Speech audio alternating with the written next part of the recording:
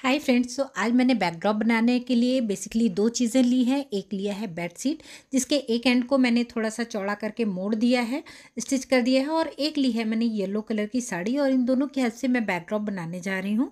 तो first of all मैंने अपनी बेड शीट को ले लिया है एक कर्टन रॉड के अंदर। आप चाहें तो अपने घर की विंडो की कर्टन रॉड को भी यूज़ कर सकते हैं। यहाँ पर मैं कर्टन स्टैंड पर इसको लगा के कर रही हूँ सो दैट बाहर थोड़ा सा स्पेस मिल जाए मुझे। आउटडोर डेकोरेशन के लिए इस तरह के कर्टन स्टैंड थोड़ा हेल्पफुल होते हैं। अक्सर फोटोग्राफर्स के पास भी होता है जो ये रेंट पे हमें दे सकते हैं। अदरवाइज़ आप चाहें तो इसको ऑनलाइन ऑफलाइन भी परचेज कर सकते हैं। अराउंड टू थाउज़ेंड की रेंज में आ जाता है कर्टन स्टैंड। तो हमने इस तरह से अपना ये बेड शीट को लगा दिया और इसको जितनी हाइट तक चाहिए था उतनी हाइट तक मैंने सेट कर दिया। Now this is ready. And अब गेंदे के फूलों की लड़ियाँ इस पिन की हेल्प से मैं अटैच करने जा रही हूँ अपने इस बैकड्रॉप पर। ये इस तरह की गेंदे की लड़ियाँ अक्सर मंदिर के आसपास बहुत ईजिली मिल जाती हैं। मैंने तो फ्लार वाले से लिया था। पचास साठ रुपए के हिसाब से ये पूरी एक एक लड़ी दे देते हैं। तो गेंदे के फूलों की लड़ियों से बने इस बैकड्रॉप को हम किसी भी ऑस्पिशियस ओकेजन पर यूज़ कर सकते हैं, जैसे कि पूजा के लिए, नवरात्रि पूजा के लिए, या फिर हल्दी फ़ंक्शन डेकोरेशंस के लिए, मेहंदी फ़ंक्शंस के लिए। तो किसी भी ट्रेडिशनल इंडियन डेकोरेशंस के लिए इस बैकड्रॉप को बनाया जा सकता है, जो कि बहुत ही ईजिली बन गया। ये अराउंड दो तीन घंटे के अंदर पूरा बैकड्रॉप बन गया था मेरा। अब इसको आगे बनाने के लिए मैंने यहाँ पर लिया है हुला हुप इसको मैंने अमेज़ोन से परचेज़ किया था। इस हुला हुप को आपस में इस तरह से कनेक्ट करते चले गए और ये अभी हमारा रेडी हो गया है। इस हुला हुप के भी चारों तरफ़ यहाँ पर मैं यूज़ कर रही हूँ गेंदे की लड़ियाँ। आज के डेकोरेशंस में मैं सारा ही ओरिजिनल फ्लावर्स का यूज़ कर रही हूँ। हालाँकि अगर इसको आर्टिफिशियल फ्लावर्स की हेल्प से अगर डेकोरेट करते तो और ज़्यादा खूबसूरत लगेगा क्योंकि उसमें काफ़ी वाइब्रेंट कलर और काफ़ी सुंदर कलर आता है गेंदे की लड़ियों का। अमेज़ोन पर बहुत ईजिली अवेलेबल है। ऑफलाइन भी बहुत ईजिली मिल जाता है। ऑनलाइन का मैं लिंक आपको डिस्क्रिप्शन बॉक्स में प्रोवाइड कर दूँगी। आप एक बार चाहें तो चेक कर लीजिएगा।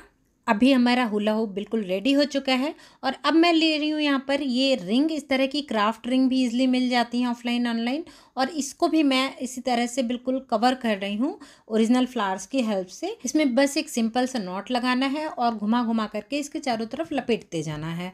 मेरे मेरे फ्लावर्स थोड़ा सा पुराने हो चुके हैं तो इसलिए कम फ्लफ़ी लग रहे हैं। इसीलिए मैं बार बार बोल रही हूँ, अगर आप इसको अगर आपका कोई बहुत ऐसा पूजा वाला ओकेज़न नहीं है तो आर्टिफिशियल फ्लावर से डेकोरेट करना थोड़ा सा ज़्यादा इजी होगा।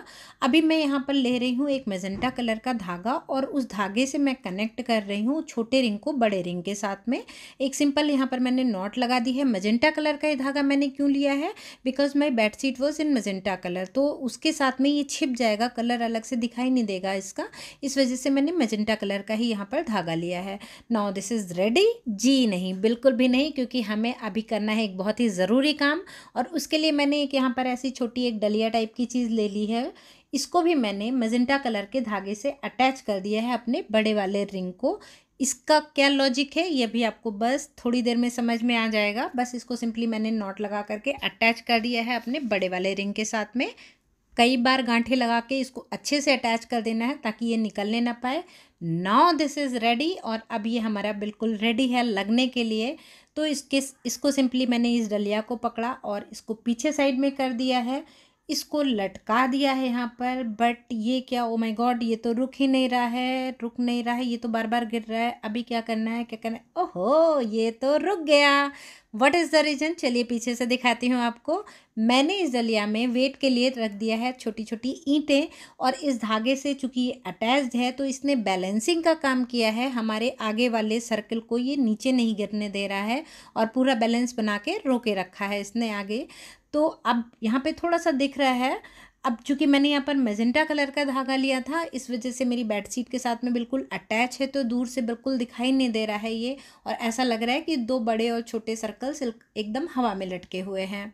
अभी आगे का डेकोरेशंस करने के लिए मैंने डबल साइडेड टेप को चिपका रही हूँ मैं यहाँ पर एक खाली कंटेनर के साथ में, और इसके डबल साइडेड टेप को निकाल करके यहाँ पर भी मैं यूज़ कर रही हूँ। ओरिजिनल फ्लावर्स की लड़ी को, आप चाहें तो आर्टिफिशियल को ही एज वेल यूज़ कर सकते हैं। एंड सिंपली अपने इस गेंदे की लड़ी को बस मैं घुमाते जा रही हूँ, अपने इस कंटेनर अपने इस डिब्बे के चारों तरफ़ और इसको पूरा मैंने कवर कर दिया है फ्लावर्स की हेल्प से। और अभी ये ऑलमोस्ट मेरा रेडी हो गया। अब इसमें कुछ एक डेकोरेटिव पीस रख देंगे हम यहाँ पर। उसको भी मैंने अटैच करने के लिए डबल साइडेड टेप का यूज़ किया, ये एक डेकोरेटिव पीस रख दिया है। अभी चूँकि मैं डेकोरेशंस कर रही हूँ हल्दी फ़ंक्शन के लिए तो मैंने बैठने के लिए यहाँ पर एक चौकी छोटी रखी, उसके ऊपर अपनी येलो वाली साड़ी बिछा दी है और जो मैंने ये अभी बनाया था, उसके बगल में थोड़ा सा यहाँ पर फिर से मैं यूज़ कर रही हूँ गेंदे के फूलों की लड़ियाँ और इस तरह से उनको just simply roll roll roll roll roll करते जाना है और उसको फिर से मैंने अटैच कर दिया अपने कंटेनर के साथ में। इस तरह से एक डिज़ाइन टाइप का बन गया है यहाँ पर। इसी तरह से मैंने दूसरी साइड भी, जो बैठने की चौकी है, उसके दूसरी साइड भी एक डिज़ाइन टाइप का बना दिया थोड़ा सा चौकी को भी डेकोरेट कर दिया है। So फ्रेंड्स कैसा लगा आपको आज का डेकोरेशन अगर अच्छा लगा हो, तभी आप लाइक करिएगा और अगर किसी तरह की किसी सजेशन की ज़रूरत हो तो आप मुझे कमेंट बॉक्स में कर सकते हैं। सो बाय बाय मिलते हैं किसी और वीडियो में कुछ और नए डेकोरेशन आइडियाज़ के साथ। टिल दिन बाय बाय